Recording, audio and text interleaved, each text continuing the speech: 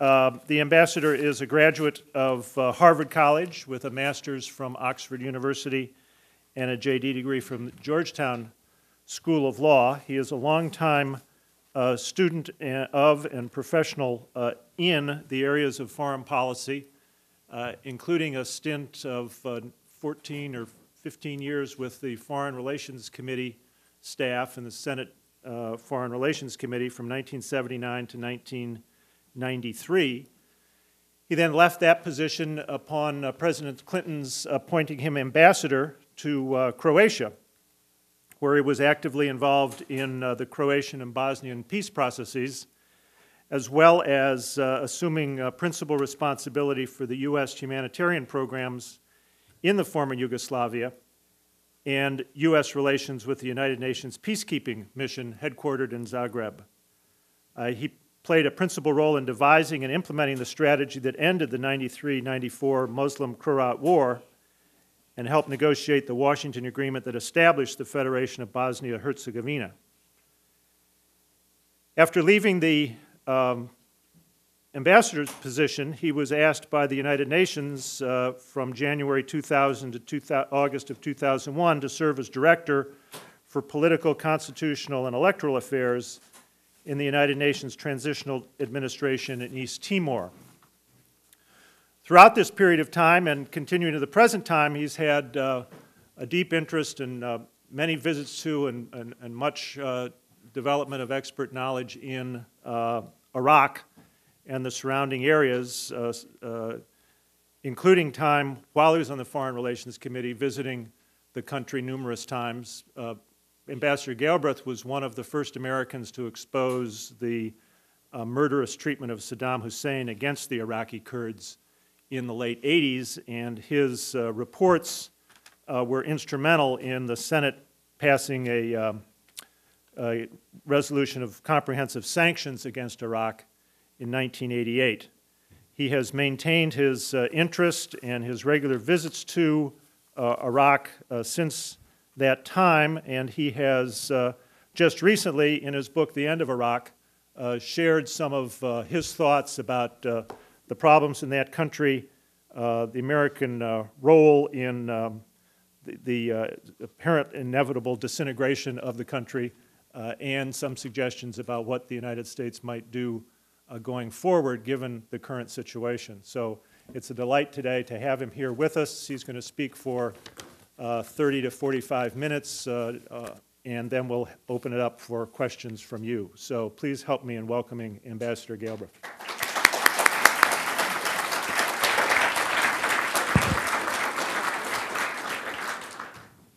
Chris, thank you for that um, very generous introduction.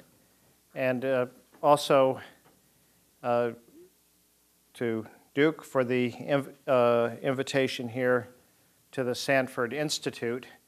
Uh, uh, it's a real special pleasure to be here because uh, one of the senators that I worked for on the Senate Foreign Relations Committee from 1986 uh, until 1992 was Terry Sanford, and he was a, a, a very kind person, a pleasure to work for and with, and he served just one term as a senator. Uh, he was an important player in helping to shape some of the issues of that time, including those that I will uh, discuss here today. Uh, he entered the Senate in 1987 uh, at the beginning of the uh, Iran Contra scandal, uh, and then in 88 was one of the supporters of the Prevention of Genocide Act of 1988, which passed the Senate, uh, co-sponsored by Claiborne Pell and the other senator from North Carolina, uh, Jesse Helms, uh, which would, had it become law, imposed uh, comprehensive sanctions on Iraq for the gassing of the Kurds. Uh, the, um, uh, and then, of course, he participated in the debate over the first Gulf War uh, before uh, losing his bid for reelection in 1992. Um, perhaps it's worth beginning with the Prevention of Genocide Act. in uh, 1988. And by way of advertisement, uh, much of what I'm going to tell you is uh, in the book. Uh, but um, uh, it's very interesting. Uh, one of the things I argue in, in the end of Iraq is that the United States has been getting Iraq wrong for not just since 2003, that's pretty obvious, but uh, certainly since I started working on it professionally, it, beginning in 1980. Uh, the interesting thing is that um, what was the response of the United States when, uh, as we know, and let me back up and say, as we know, when uh, the uh, uh, one of the rationales for the war in 2003, one of the phrases that we heard from President Bush was that uh, uh, to justify the war was that Saddam was such a brutal dictator uh, that he gassed his own people. Uh, and, uh, but it's interesting that at the time he was gassing his own people, 1988, uh, there was a, first an attack on March 16, 1988, on the Kurdish city of Halabja. Uh, the Reagan, it was Reagan administration tried to obscure responsibility for that attack by suggesting that both Iran and Iraq had gassed Halabja, although in fact there's no evidence that Iran ever used chemical weapons in the Iran Iraq War, which was still going on. Uh, and uh, it would have been rather illogical for uh, Iran to have gassed Halabja since it was held by its allies, the Kurdish guerrillas or Peshmerga. But uh, it was a way to mute the international reaction to uh, a horrific atrocity that was broadcast around the world because the Iranians allowed television cameras to come in, and so there were pictures of some of the 5,000 people who died, uh, including um, perhaps most memorably uh, a man holding a baby uh, cut down as they were trying to flee. But then in, uh, in August of 1988, on the 20th of August, the Iran Iraq War ended. And five days later, Saddam began a series of poison gas attacks uh, in Duhok Governorate. Now, uh, if you know the geography of Iraq, that is the part of, of, of, Kurdistan, of northern Iraq, that is adjacent to Syria and to Turkey. In short, the other side of the country from Iran, and anyhow, this was after the Iran Iraq War had ended. Uh, there was no question as to who was responsible uh, for those attacks. Obviously, it was uh, Saddam Hussein. I was uh, in Vermont uh, at the time and um, went, returned uh, my home and returned to Washington. Uh, I believed, partly based on what I'd seen in Kurdistan the previous year during a trip, when I'd stumbled across the systematic destruction of all the villages in Kurdistan, that this was genocide and that Saddam's goal was the elimination of the Kurdish population in Iraq. Uh, and that's also fit with the ideology of Saddam Hussein, which was an extreme Arab nationalist uh, ideology. Uh, the Kurds are not Arabs, uh, and so therefore they really weren't part of the master race, if you will, within Iraq. Uh, I went to see the, my boss, uh, Claiborne Pell, who is the chairman of the committee. We discussed it. He said, What do you think we should do? I said, Well, I don't know that there's much we can do, but we need to catch Iraq's attention. Why don't we in- introduce legislation to impose sanctions on Iraq? He agreed. Uh, we were running toward the end of the session, so I actually dictated the bill to my secretary. It took about an hour. Every sanction I could think of. We, the U.S. at that time was providing massive foreign assistance to Iraq uh, in the form of credits that enabled Iraq to purchase goods in the United States. Uh, so, in effect, it was the third largest recipient of U.S. assistance. So, one of the sanctions was to cut off that assistance, another was to prohibit uh, the importation of Iraqi oil. Um, Pell went to Helms, who co sponsored, and with that combination, a liberal Democrat from Rhode Island and a you know, arch conservative uh, from North Carolina, uh, everybody, the bill was almost non controversial, passed the Senate unanimously, and then uh, Pell asked me to go out and document uh, the use of chemical weapons so that we could make the case when the Reagan administration denied that Iraq had done it. So I went out and interviewed the survivors who had fled across the border into Turkey. Well, as it happened, the Reagan administration did not deny that chemical, Saddam had used chemical weapons. In fact, George Shultz, the Secretary of State, was quite outraged by what Iraq had done, and so he had the State Department publicly denounce Iraq for using chemical weapons against the Kurds. So I thought uh, that, uh, uh, well, it'd be, then it would be sure thing that our sanctions legislation would pass. But no, the Reagan administration said they opposed the sanctions legislation, that it was premature to take such a severe action against Iraq for the actual use of chemical weapons at the time they were being used. Uh, and ultimately, the Reagan administration was able to defeat sanctions. The next year, in 1989, the new Bush administration responded by doubling U.S. assistance to Iraq. So it's a very ironic situation that, again, at the time that Iraq was using chemical weapons, it was too extreme even to cut off U.S. taxpayer support for Saddam Hussein. 15 years later, the fact that he had used chemical weapons in 1988 became a rationale for war. I was somewhat amused when Rumsfeld then said in this uh, uh, last month that though critics of the Iraq War were guilty of appeasement, and he compared them to uh, Neville Chamberlain and the British uh, uh, policy toward Hitler in the 1930s, because of course I thought there was a much more recent example of appeasement, uh, namely the appeasement by the Reagan and first Bush administrations of Saddam Hussein that continued up to the 2nd of August 1990. Now, there was a reason that Rumsfeld chose not to refer to that uh, because he himself was an architect of that appeasement policy.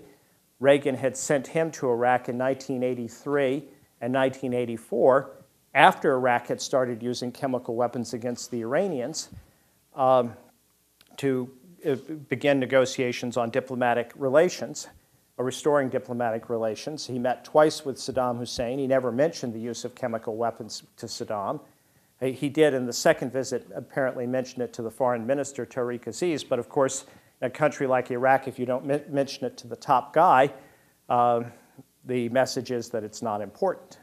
And obviously, what followed then was the beginning of U.S. assistance programs to Iraq that eventually amounted to billions of dollars, uh, and a decision that we, and th this was probably the most critical form of assistance we provided Iraq, was um, intelligence that enabled them to use the chemical weapons to target the Iranians. Now, there have been allegations that the U.S. provided chemical weapons to Iraq. That didn't happen, and I don't think we provided chemicals to Iraq. That wasn't important. Chemical weapons are run of the mill World War I technology. But they're only useful if you can hit concentrations of troops. And for that, you need to know where the Iranian troops, the enemy troops, are concentrated. That requires intelligence, and only the US and the Soviet Union had the satellite technology that would have enabled the effective targeting of um, the chemical weapons. And so that was the main assistance that we provided Iraq during the Iran Iraq War. Now, what was the reasons for this uh, appeasement policy? Uh, well, a, the, the, of course, the major concern that the uh, United States had in the 1980s was that Iraq would lose the Iran Iraq War and that Iran, revolutionary Iran, would become a regional hegemon, uh, that it would uh, uh, take, it would defeat Iraq, uh, that the Shiite majority in Iraq would uh, line up with Iran. The strategic balance in the northern Gulf would change in a way that was disadvantageous to the United States. Hence, this justified providing assistance to Iraq even so that it could uh, use its chemical weapons. Now, of course, why did they continue the appeasement policy after the Iran Iraq War ended?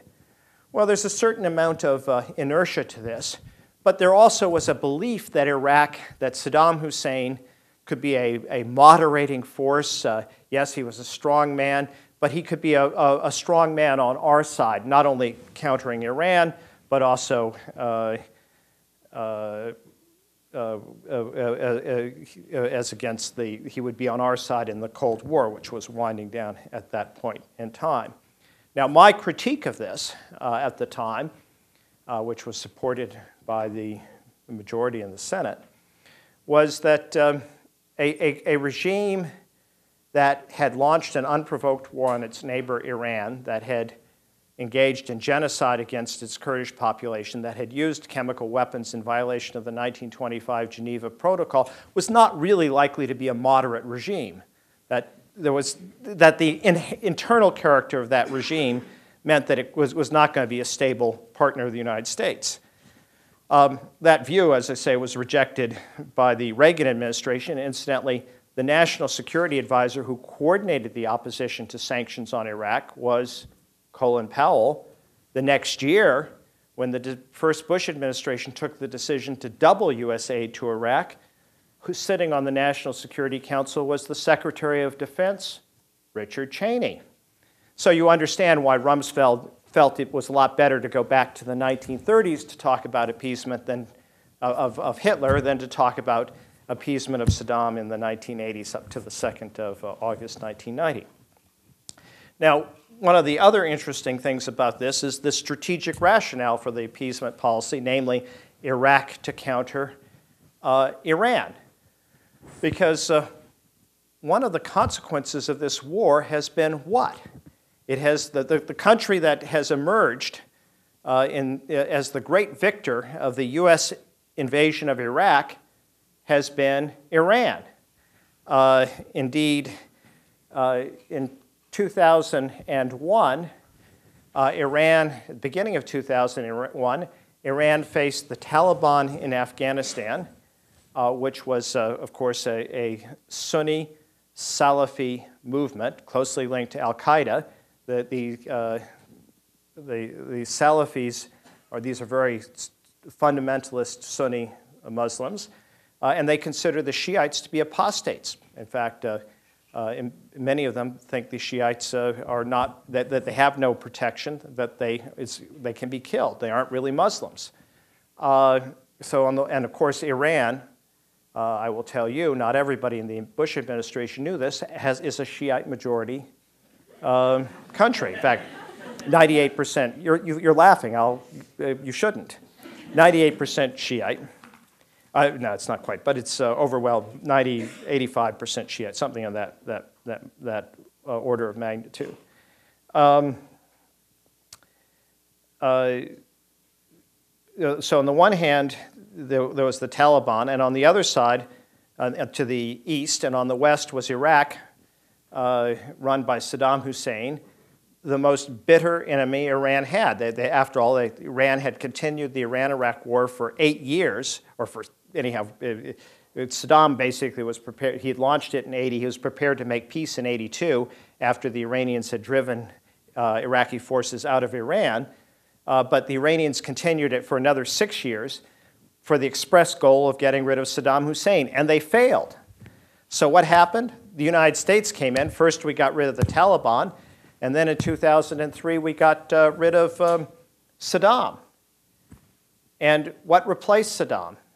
Well, it was the Shiite religious parties that, uh, who, who, who won a majority in the Iraqi elections in 2005, but basically began to take power in Iraq from, two, from 2003 on. Uh, parties that had been uh, supported by Iran for decades. Uh, the largest of these political parties, the Supreme Council for the Islamic Revolution in Iraq, was actually founded in Tehran in 1982.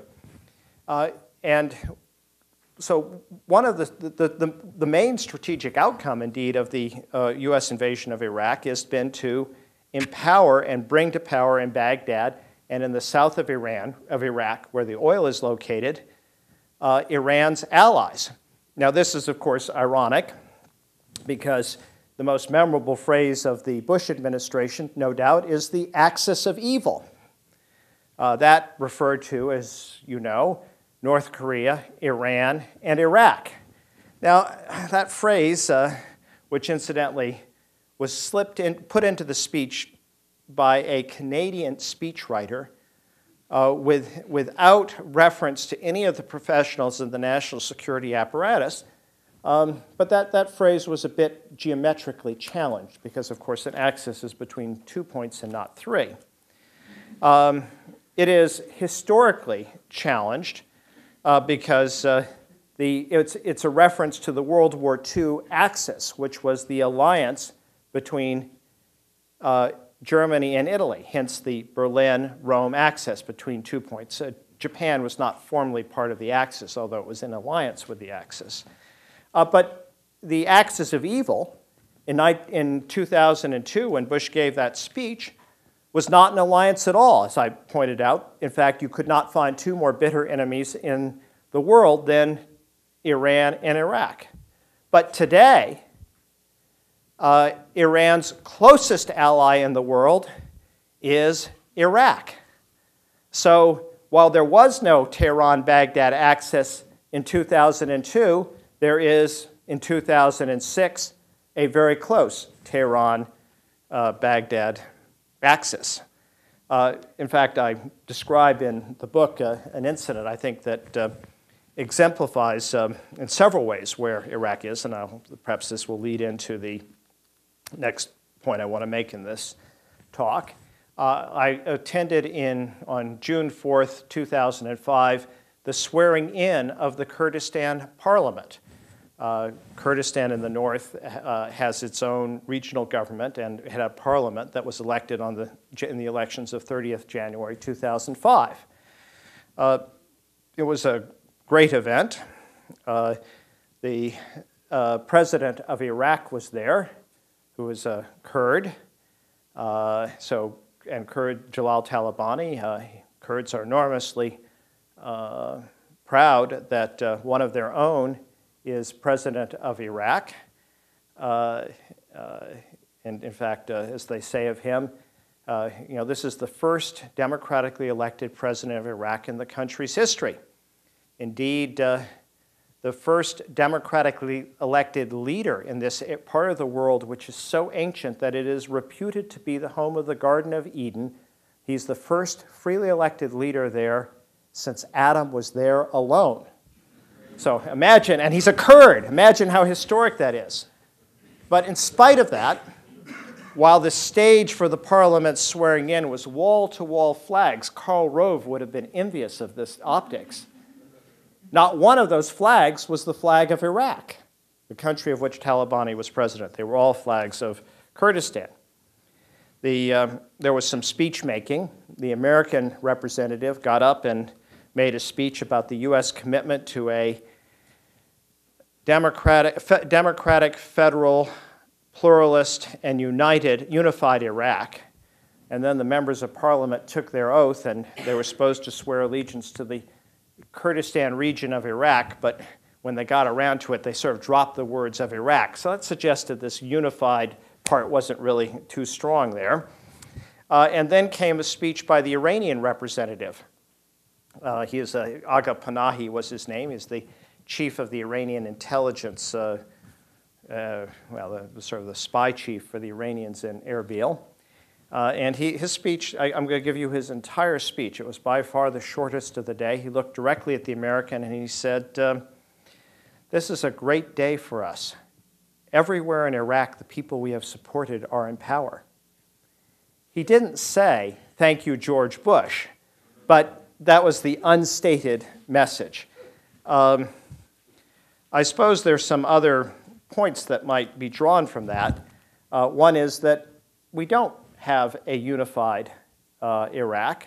Uh, in fact, uh, Kurdistan in the north is, uh, in all regards, an independent state except international uh, recognition. Uh, the Iraqi flag is banned from flying in Kurdistan, and it's been banned for years. the Iraqi army is prohibited by Kurdistan law from going there. the Iraqi central government ministries do not operate in Kurdistan. Uh, and the population voted in a referendum on the 30th of January 2005 uh, for independence by a margin of 98% to 2%. Uh, the um, Shiite in the, the, the Shiite region in the south has been uh, really more or less from 2003 on. And I, I, was in, I arrived in the country about four days uh, after the statue fell and went to the south about three or four days after that. Um, already, the religious, the mosques and the religious parties were taking control. The south is not governed from Baghdad either. It's governed by the Shiite religious parties who uh, have operate their own little fiefdoms in different parts of the South. Uh, they apply not the constitutional freedoms of which we heard so much in the Iraqi constitution, but they apply a, a, version of Islamic law copied from the Iranian model, enforced by militias, and generally much more severe than what you see in Iran. Uh, in the Baghdad is uh, today, as you know from reading the newspapers, it's divided. It, it is the front line of a civil war in Iraq that claims easily 100 lives, lives a day. Uh, and the city has divided. It was once a city that was at least partially mixed, but today it's not. The east is uh, Shiite uh, under the control of almost all the neighborhoods of the Mahdi army. This is the militia of the loyal to the most radical of the Iraq Shiites clerics, uh, Muqtada al-Sadr. And the west is uh, controlled by, uh, is Sunni. Uh, it is controlled by uh, al-Qaeda, uh, al-Qaeda offshoots, imitators, and some neighborhoods by former Baathists. but it's not controlled by the central government. Uh, in fact, ministers uh, live in the green zone. They rarely go to their ministries because if they leave the green zone, uh, they get stuck in Baghdad's traffic. They're sitting ducks, ducks for assassination. Uh, and finally, the Sunni center of the country is basically a battleground between uh, uh, the Sunni insurgents, the coalition forces led by the United States, and what we call Iraqi army force troops, but really are Shiite soldiers uh, who are battling the insurgency. And certainly the central government in Baghdad doesn't exercise any control there. So uh, where are we after three years after the invasion? As I pointed out, we have Iran in a dominant position in the south, uh, in a dominant position in the central government. But we also have a, situa- a situation where there's a civil war where the country has broken up. The central government doesn't really control anything. The South is, uh, operates uh, autonomously in an informal way. Uh, basically, Baghdad and the Sunni center are controlled by no one. They're, they're battle zones. And Kurdistan in the north uh, is institutionally uh, a, a, separate country. Uh, that being uh, the case, then we can analyze what are the prospects for success for the United States uh, mission in Iraq. Uh, and perhaps it's worth stating what that mission is. The mission is, according to President Bush, a unified and democratic Iraq. Now, what, what would be the prospects of achieving that goal given that Iraq has broken up and given that there's a civil war between the Sunnis and the Shiites. Uh, and I'd be happy to take any questions from anybody who doesn't believe that there's a civil war, because uh, I'm happy to support that proposition, uh, or who believe somehow that the country has not broken up. But if we, if we were serious about the mission of a unified and democratic Iraq, we would have to undertake two military tasks that we're not now undertaking. First, we would have to dismantle the Shiite theocracies that have been set up in the South. That would mean we would have to disband the militias that keep them in power, and we would have to effectively remove the Iranian influence. If we were going to do that, we would, of course, be taking on the Shiites as an enemy. Now, the Shiites are 60% of Iraq's population. The Sunni insurgents, who are the, our current military problem, are just 20%. So, in essence, we would be taking on an enemy who's supporting the population, eh, who is supported by a population three times as numerous as the current problem in Iraq, and where we have not been wildly successful in countering the insurgency. Uh, and of course, while there are some foreign fighters who are fighting with the Sunni insurgents, the Shiites have a very powerful ally right next door in Iran. So, uh, but I think it's very clear that the United States has no intention of dismantling the Shiite theocracies, of disbanding the militias, or of countering Iranian influence. If we wanted a unified, so we aren't going to build a unified Iraq from the south. If we wanted a unified Iraq, to, we would also have to end the civil war. Now, uh, and, and, and this is uh, actually a very important part of the, why this nomenclature about civil war is so sensitive to the administration. If it's a civil war, then you cannot expect the Iraqi police and army to provide security in mixed areas like Baghdad. Why? Because if it's a civil war, the army and the police are not neutral, they're not national institutions, they are partisans in the conflict. That's why, that's why that, that, that the, the administration is constantly saying, no, no, no, no civil war. But of course, it is a civil war, and the army and police are not neutral. The police, at least in the mixed areas, are almost are overwhelmingly Shiite, and they are they are the death squads that are carrying out the, the executions of the Sunnis. Uh, it's a, of course, it was the Sunnis who started this by car bombs and other attacks on on Shiites, including on ordinary Shiites. But once the Shiites took control of the police apparatus after the January elections, they've organized themselves and they've been uh, uh, it, it, targeting an increasingly expanded list of Sunnis. And at the beginning, it was suspected insurgents and former Baathists, but now the death squad simply target anybody who has a Sunni name. Uh, so it is impossible to think that the Iraqi police and the Iraqi army is not much better, it's somewhat better, but not much better, could be expected to provide security in the mixed areas because there's no Iraqi army unit or police that would be trusted by both Sunnis and Shiites. So if we were serious about ending the civil war, what would, what would, what would we have to do? We would have to become the police of Baghdad. Uh, that, of course, would involve many more troops.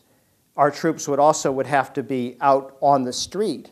Uh, soldiers can be in tanks and, and well protected, but police cannot. Uh, so it would mean many more casualties.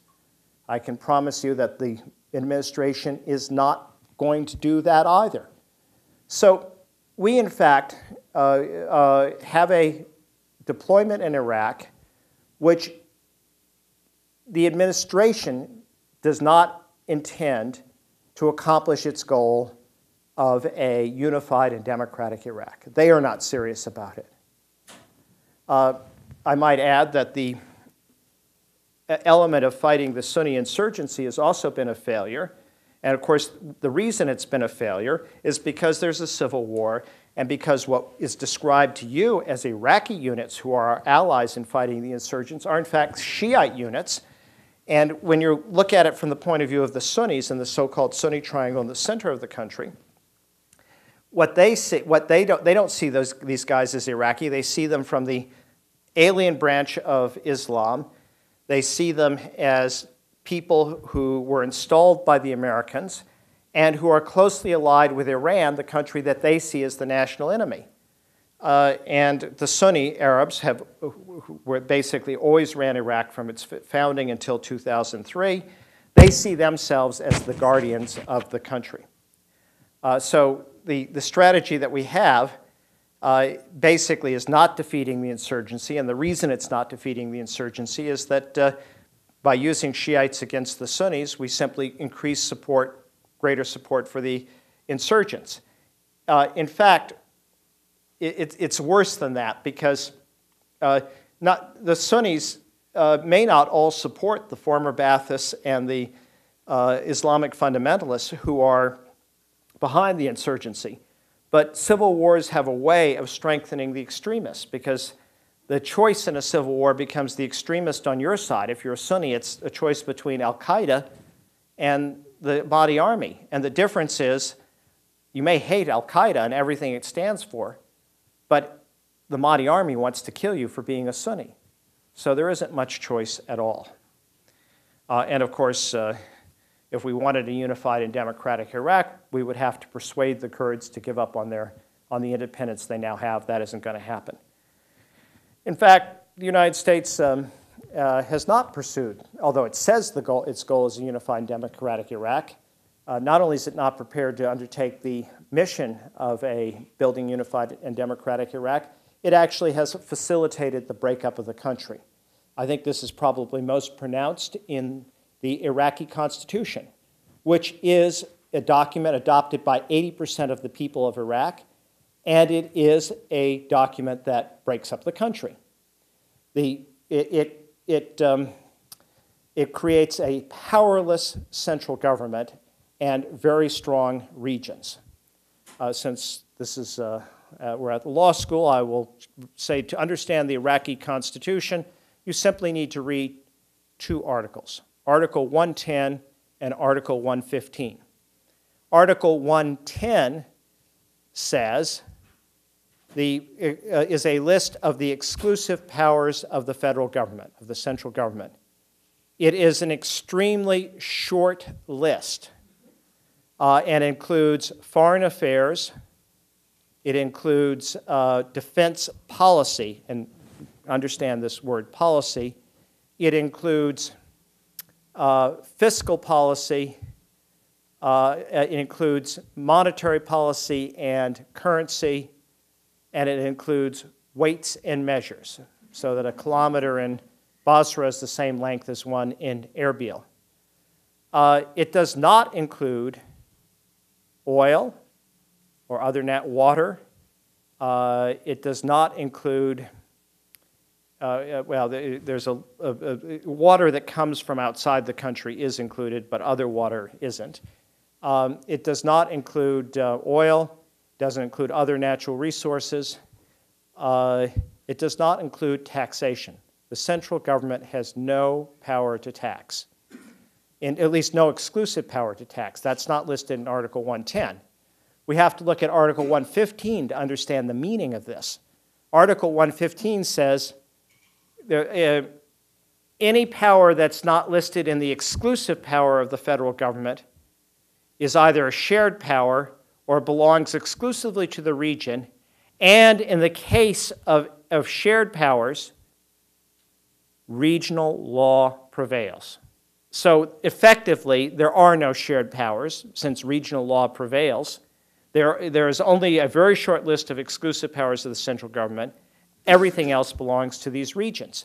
The regions under the Constitution have the right to maintain their own foreign representation offices. They have the right to have their own armies, and they control substantially, have substantial control over the oil, although there are some provisions on sharing the revenues. Not the control, but sharing the revenues. Uh, it, it, there's, there's some nuances I'd be happy to discuss for those of you who've read it, but that's the basic uh, structure of the Iraqi constitution. It's not an accident. It wasn't poor drafting. It was, uh, in fact, the product of, um, of, of, what the maximum that uh, Iraqis could agree with each other because, in fact, they don't want to hold the country together. George Bush's assertions to the contrary. The U.S. helped broker this constitution because, in fact, the, the way it was drafted was not like Philadelphia in 1787, everybody coming together to draft a common country. It was more like the Dayton peace negotiations that ended the uh, Bosnia War. All three groups, the Sunnis, the Shiites, and the Kurds, never met together to have a serious discussion of the Constitution.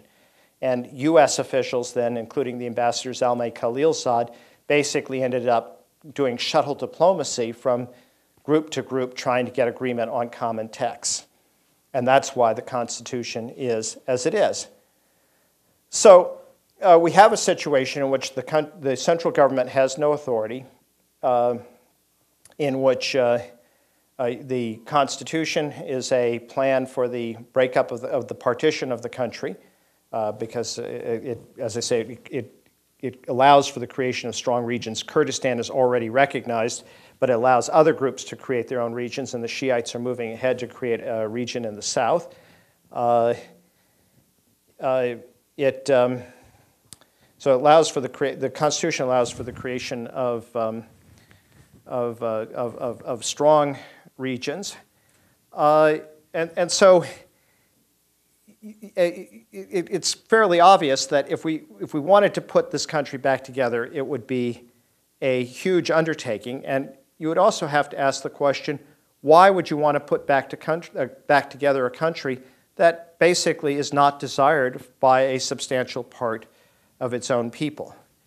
Uh, what I would say now, then, is the case for a different policy in Iraq is based on the fact that is not, is not a, if you will, a liberal case, but a, a conservative case, which is that we, we are locked into a mission where we cannot succeed, where we, we're not even serious about trying to succeed. Uh, and so let's analyze. We, we can't speak of a strategy for Iraq because it isn't a country, but let's look at a strategy for the different parts of Iraq. In the south, uh, if we're not going to promote democracy, disband militias, or counter Iranian influence. Why are we there? Uh, the region is actually perfectly stable. But we, we you know, the, the, the, if we're not accomplishing anything, then the coalition ought to withdraw, and I would say it ought to withdraw immediately.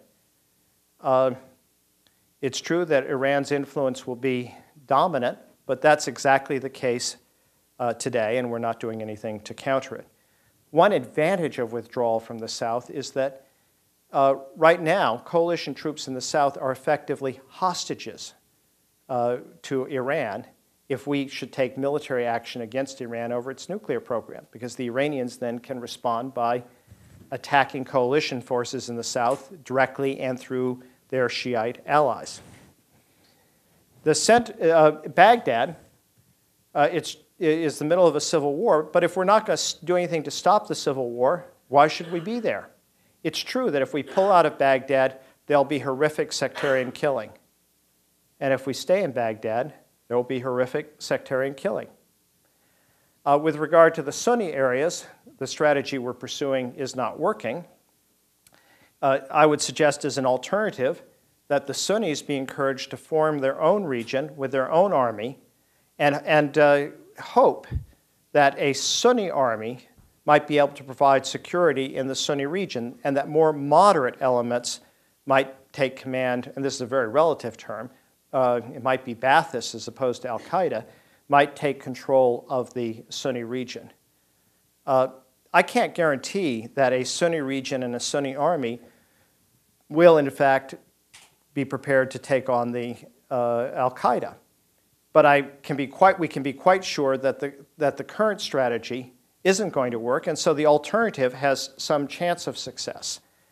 And it seems to me that our one remaining overriding interest in Iraq is that Al Qaeda uh, and other groups like it, the homegrown groups, groups in Iraq, do not have a base there from which they can attack the United States or the West. In short, that it is not like what Afghanistan was under the Taliban before September 11th, 2001.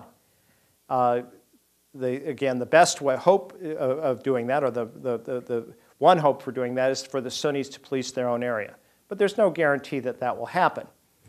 Therefore, my, the final element of what I would suggest is an alternative approach would be to deploy an over the horizon force, if you will, in Kurdistan, uh, which, which, from which the United States could move into the Sunni areas if needed to disrupt Al Qaeda or to attack Al Qaeda bases. Now, there are people who have argued for an over the horizon force in Kuwait, or in some cases, like the Philippines.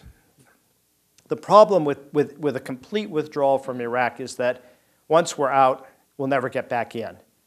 Uh, uh, that would be politically very difficult in this country and politically very difficult in Iraq. But if you're still in what is nominally Iraq and Kurdistan, uh, you, you are adjacent to the Sunni areas.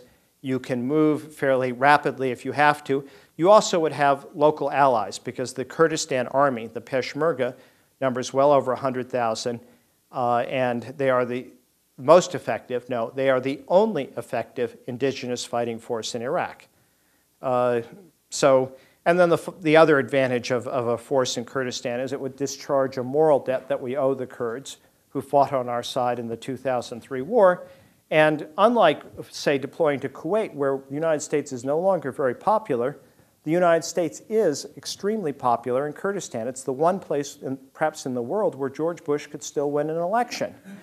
no, you laugh, but it's true. And do you know why? Because everything that makes him unpopular in the United States and in Europe and other parts of the world, namely that he screwed up Iraq so badly, makes him extremely popular in Kurdistan. They love him for screwing up Iraq. You know, that he wrecked the country. He's it, terrific. Um, one of the Kurdish leaders, a friend of mine, says of Jerry Bremer, the U.S. Uh, uh, administrator in Iraq, he said, uh, We Kurds were going to build a statue to Jerry Bremer, uh, to Ambassador Bremer. He, uh, he, did more than anybody else to break up Iraq. Uh, so, yeah, Bush is popular precisely because he screwed up Iraq. so it will be a place where the local population would uh, welcome us. This alternative strategy, which I describe in the book, uh, perhaps more eloquently than I do in this presentation, uh, it, it, of course, does not produce an ideal solution. Iran still will have the greatest strategic advance since the Treaty of Kasr-i-Shirin in 1639, which had established the boundary between the Sunni ruled world and the Shiite ruled world.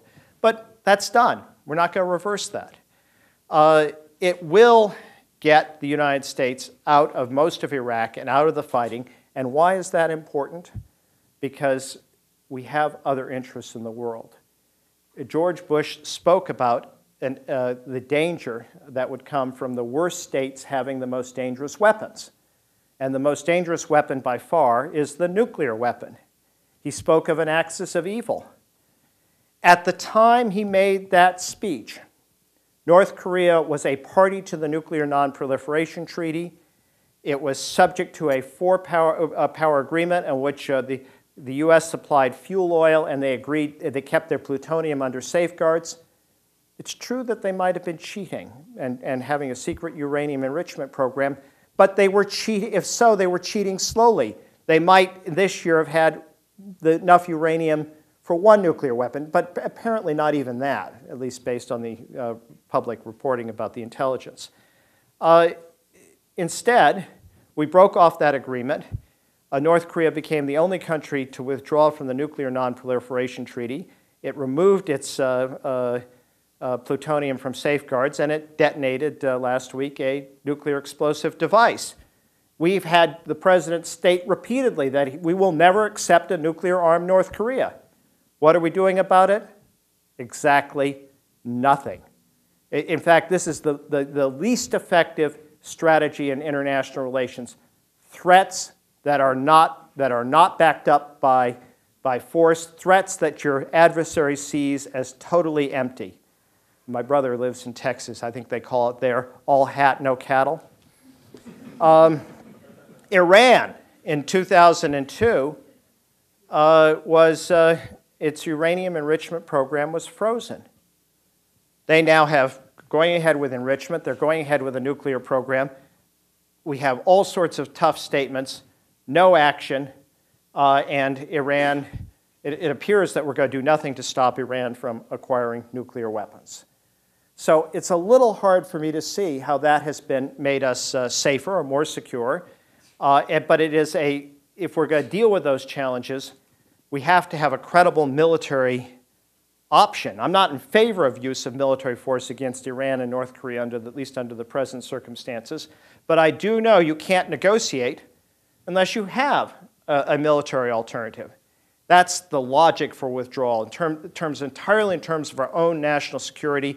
We, we, we, we face basic cho a choice. We continue with a mission that will not accomplish its goal in Iraq uh, and, we, uh, and, and we, we do nothing about Iran and North Korea, or in the alternative, we, we withdraw from most of Iraq, preserve our interest in, in stopping Al Qaeda, uh, and then have resources that are available and some credibility to deal with, with uh, the problems of, uh, of North Korea and Iran. That gets me to my final point.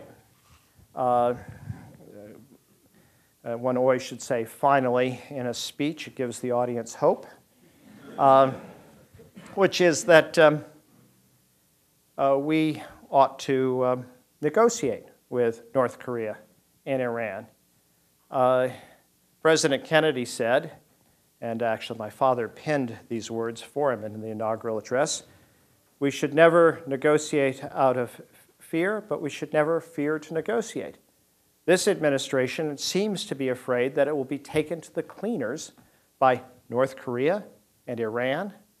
Uh, I mean, somehow we managed to negotiate with the Soviet Union, but uh, they're, they're, they seem to be afraid of negotiations with these two countries. I think it's unlikely that we would be taken to the cleaners by either of them, although maybe with some of the people who've been running Iraq, that's possible.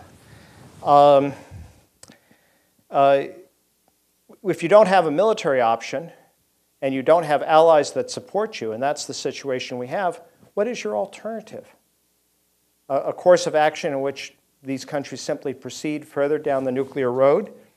The North Koreans say that they're prepared to enter into an agreement that would freeze their nuclear program in exchange for a mutual security treaty with the United States, diplomatic relations, maybe some economic assistance. Mutual security treaty, what they want is a pledge that we won't, a treaty which says that we won't attack North Korea, which we don't plan to do. Uh, I don't know if they will, if, if they're serious about that, but won't find out unless we talk to them. Uh, it may be that the Iranians are, would be prepared to freeze their nuclear program in return for a commitment that we don't do regime change in Iran. My God, would anybody want to do regime change in Iran after having seen how we did it in Iraq? I mean, that's also giving up absolutely nothing. Uh, if there is going to be regime change in Iran, it certainly won't be done with the help of the United States, uh, and, and, certainly not the help of this administration, which has been so demonstrably incompetent. So, again, there's a logic for negotiation. I don't know if a bargain can be reached or not. But uh, if it could be, it seems to me that that's something worth exploring. Let me stop here and uh, turn this over to questions.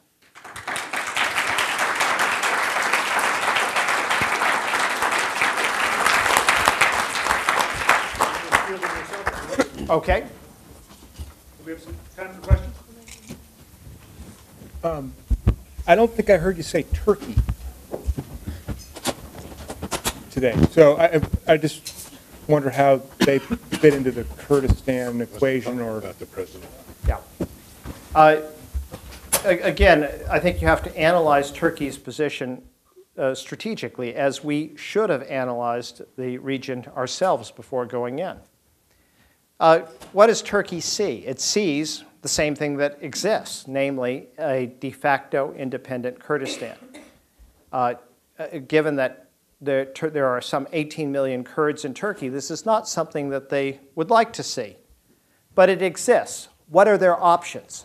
How can they, what can they do about it? Well, in theory, there's a military option. But remember, it took Turkey 15 years, cost of 30,000 lives to defeat the PKK, that is a, an indigenous Kurdish separatist uh, uh, guerrilla movement. Uh, and um, uh, they at most numbered 5,000 guerrillas at their peak. Now imagine, and that was on Turkish soil. Imagine what would be involved in a military option in Kurdistan of Iraq. It would be involved foreign, uh, uh, uh, unfamiliar terrain, a hostile population, uh, dealing with a Kurdish, Kurdish Peshmerga force that's well over 100,000. It would lead to a huge rupture in relations with the United States. It would mean the end of any chance of joining the European Union this century. There are some people in, in, in Berlin and, and, Paris who are kind of hoping the Turks do something this stupid. But uh, uh, frankly, Ankara has been much smarter than that. Uh, I think there's a widespread recognition in Turkey that there is no military option to prevent the emergence, uh, to, to deal with the independent Kurdistan, which already exists. Uh, and so uh, basically, there's a, they've adopted de facto another approach, which is to have good relations with Iraqi Kurdistan. Uh, the largest uh, uh, foreign investor in Kurdistan is Turkey, uh, overwhelmingly from Turkey. The Turkish government is strongly supporting Turkish companies that have made oil deals, not with Baghdad, but with the Kurdistan government, with, with, with deals made without any reference to Baghdad, and which therefore presumably increases the financial independence of Kurdistan. Uh, and the Kurdish leaders have, all, and have also been pretty shrewd. They've tried to cultivate Turkey. They've thrown business Turkey's way. Uh, and so there, there is a view in Turkey, and I, I, I would admit that this is a minority view, but it exists not only in the press and academic circles, but also within the deep state and the government. And it goes something like this. Well, there's, you know, an independent Kurdistan exists. Probably full independence is inevitable. Uh, maybe this isn't such a disaster. After all, who are the Kurds? They are secular, they uh, uh, uh, are pro Western, they aspire to be democratic, and they're non Arab. In short, they're a lot like us. Uh, and that an independent Kurdistan would probably be a satellite of Turkey, especially if Turkey adopts the right policies toward it. And, and, and also, it would be a useful buffer against uh, a Shiite, Iranian-dominated Shiite Iraq. Now, I, I don't want to overstate this. Th- There's a debate in Turkey about how to handle it. I think there's very little interest in the military option, uh, and there are an, an increasing number of voices who, who adopt this later, this latter position I've described. Nonetheless, the next year is going to be a rough one because there are presidential and parliamentary elections in Turkey, and the Kurdish question is a very emotional issue in Turkey. Find it hard to believe that um, in this new configuration in Iraq, where the Shiites uh, are in power now, it's, it's coming like a, as a surprise to the U.S. I, I, uh, because it's empowering Iran in the region, and I'm not sure that was a strategic goal. Uh, I mean, or it's, it's a goal that was not strategically planned. In terms of the the way I see it is maybe uh, to play the enmity between maybe Shiites and the kind of uh, Sunni Wahhabism coming from Saudi Arabia and spreading throughout the Middle East, uh, with the intention to kind of divert attention from the presence, American presence that is so contested in the in the area. Uh, can I just ask, uh, where are you from? Morocco.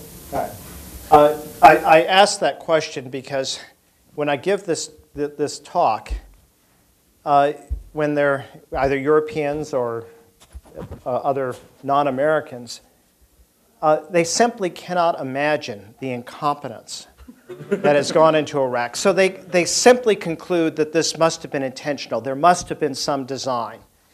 Uh, and I mean, you, you you just can't imagine that it could be that stupid, right? I, I, I sympathize with that. I mean, after all, this is a, a superpower, a great country. But sometimes it really is like this. Um, let me, that, that you say we could not, we, how, we could not have failed to anticipate that Iran, the, the, the obvious point, that Iran would emerge as the great victor. I mean, this, this wasn't a great, shouldn't have been a surprise. I mean, lots of people saw it. Well, let me, uh, let me tell you. The architect of the war was Paul Wolfowitz. He testified before Congress that a Shia, the Iraqi Shiites would be a danger to Iran because they had the holy cities for Shiite Islam of Najaf and Karbala, and they would, they, and they would be living in a Western, a, a country liberated by the United States, a democracy, and that would undermine Iran. Great argument. Just happens to be no factual basis for it. I mean, he, uh, the notion that the Iraqi Shiites were going to be secular. Um, he, might have paid attention to the name of the largest political party, the Supreme Council for the Islamic Revolution in Iraq. It does give you a clue as to the agenda. It's not like Democrat or Republican. That might be hard to explain. Um, or, uh, I'll give you another example. In January of 2003, George Bush met with three Iraqi Americans uh, who are friends of mine. I know them very well, who strongly supported the war uh, and actually heroic people. And so they got into a discussion. This is obviously two months before he orders troops into Iraq. What is Iraq going to be like after the war? Uh, and it became clear to them that the president did not realize that Islam was divided into two branches, the Sunnis and the Shiites. Now, I don't mean, I do not mean to tell you that he didn't realize, he didn't know the difference between Sunnis and Shiites. That, that, that's kind of complicated. But he didn't know that there was a difference. It's a bit like dealing with Ireland and thinking they're all Christians. It, it does tend to make it hard to get your, ha- your head around it. But of course, now, now I tell this story not to make the point that the president was ignorant. Yeah, okay, he was that, but that's, that's not the point. It reflects the lack of planning at the highest level of the US government about what po- the post war issues in Iraq. And after all, if you did not know that Islam was divided between Sunnis and Shiites, you could not have anticipated that one of the outcomes of the invasion was a civil war between two groups that you didn't know existed.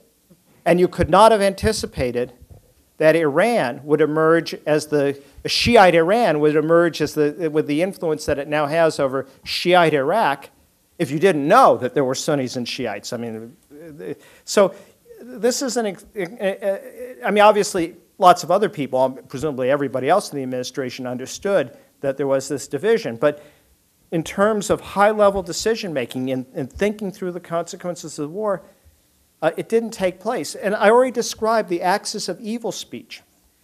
Think about that as a strategic proposition. Uh, and put aside whether you're a liberal, Democrat, uh, liberal or conservative, Democrat or Republican. Just look at it strategically. Let's, let's say you've, you, now obviously when he gave that speech, he decided to go to war with Iraq. Let's assume that he had Iran on his list, uh, that we want to do re- regime change in Iraq and, and ultimately then regime change in Iran and Syria. And I think that's the case. I think they hoped that a democratic Iraq would serve such an example that it would begin to topple Iran and Syria. Uh, the Wolfowitz testimony I described to you basically reflects that. All right, let's say that's your, that's your, uh, uh, your, your goal. First, you're going to do Iraq, and then you're going to do Iran. Does it make sense to announce this uh, to the world? Let's put yourself in the Iranian shoes. You hear that. What is your thinking going to be? Your thinking's going to be if the Americans succeed in Iraq, they're coming after us next. What are you going to do? Make sure the Americans don't succeed in Iraq. How hard is that, given the influence that you have? Well, this is, of course, what's happened. The Syrians, there was all this talk about Syria being on the list. What are you going to do if you're a Syrian leader? Oh, well, I'm just going to wait for my turn? No. Again, you're going to make sure the Americans don't succeed, and that's basically what the Syrians have been doing. Again, you can be, uh, this, is, uh, this is not liberal or conservative, this is simple strategic logic. It was, it was irrational, it didn't make sense. And there's so many other things that didn't make sense. After all, if you had this goal, democratic Iraq was going to undermine uh, authoritarian regimes in Iran and Syria. Okay, that's a bold gamble. Why would you have sent to administer Iraq utterly unqualified people? Paul Bremer, the administrator who was sent there, uh, had, had never been to Iraq, didn't speak Arabic, uh, uh had never worked in a post conflict situation, and he was given two weeks to get ready. He, he was asked to do the job two weeks before he arrived in, in Baghdad. And, and then he uh, dissolved, he, he took a couple of decisions. He dissolved the Iraqi army uh, and decided not to turn power over to an interim Iraqi government, but he would govern the country himself. But uh, he, no, there was no decision making in Washington. The president never decided that. He simply delegated it to Bremer who, who had been working on the issue for two weeks. Who did they recruit to run the country? Well, uh, anybody who's worked in post conflict uh, situations uh, knows that the first thing you want to do in a post conflict situation is, you know, start getting people to work, clean up the rubble, get the electricity on, uh, get, do employment. There were 13 $13 billion in Iraqi funds to be spent. Uh, you know, money from Iraqi oil sales and so on, and plus a lot of cash that we, we got when we found went to Baghdad. Who did they put in charge of that? They put in charge of that six young people, the old, oldest of which was 24. Uh, they, one of them was the daughter of a prominent conservative activist. Now, how were they recruited? Well, they, they, they had gotten, e- they were part of a group of 13 young people who got emails saying, from the Pentagon saying, How would you like to go to Iraq and serve your country? Well, like some of you perhaps, uh, they didn't have anything else to do. Sounded like a good idea. So they said yes. They then never had a security clearance. They were never interviewed to see whether they had any competent skills. Of course, none of them had been in a post conflict situation. None of them spoke Arabic. None of them knew anything about the Middle East. They were sent out there. The more senior people who were supposed to be in charge of spending this money never showed up, so they were put in charge of spending the money. And it turns out it's hard to spend $13 billion. So they, didn't, they spent maybe 100 million of it. What did that mean? A lot of unemployed, angry Iraqis. Uh, a lot of services that were not restored. And who were the victim? Who did they take their anger out? U.S. troops. And this is approaches being criminal negligence. Now, I, you know, perhaps you will see some strategic plan in all that. I don't believe there is. Mr. Ambassador, what you've laid out both in your speech today and in the book are accurate portrayals of what really happened, been there, done that for the last three years. What bothers me is we're weeks away from the congressional elections, the off-year elections. The debate among politicians is resolved down to forget for a minute who's chasing pages. With regard to foreign policy, it boils down to the cut-and-run Democrats, so saith the administration, or the stay-the-course president. Is there nobody up there listening? Are they afraid to admit they know what happened? Or are we left with, since all we're concerned about, if we're a congressman, is retaining power, we're not going to discuss all that complicated stuff? And I'm dead serious. You work for a great group who's obviously as pertinent as anything else going on in the world right now, but we don't hear a word out of candidates or sitting legislators, let alone the damn administration, addressing these realities. Well, uh, I, I have a lot of sympathy for what you say. Uh, uh, the, uh, I mean, I, obviously, uh, the, I don't think that one can characterize the Democrats as cut and run. Uh, and of course, a lot of Republicans are having a, great doubts about the present course of action. The, the, fact is, the administration is, as I said, not serious about, uh, about victory. But what's, what's happening in this election campaign? Well, uh, the Democrats have adopted a very simple strategy, which is that uh, when the other fellow's uh, uh, on the top of a very high building and about to jump, there's no point in pushing. I mean, the Republicans are committing suicide, so you know they don't need to help out. Uh, and I, that probably is a good electoral strategy. I would, I mean, I think it's highly likely that uh, the Democrats will win both houses of Congress, frankly. But um, it doesn't actually serve the national interest very well because there certainly needs to be an alternative. Now, there are several people who have come up with an alternative, most notably Joe Biden, who has, who has outlined something similar to what I've uh, outlined. Uh, there's also a um, candidate running in the 2nd Congressional District in New Hampshire, which is uh, across the Connecticut River from my home in Vermont, named Paul Hodes. It's a competitive race, and, and he's running very explicitly on the Galbraith plan. So, all of you, look at the 2nd Congressional District of New Hampshire on election night and see whether the plan wins. Uh, if he doesn't win, it's not my fault. It was, you know, it's a it, it, it, required a big rising tide to get that one through. Well, once again, thank you very much, Ambassador, and uh, we could all uh, thank you one more time by uh, going out and buying the book. There are multiple copies out there on the stand still, and by giving us, uh, giving our visitor a final round of applause.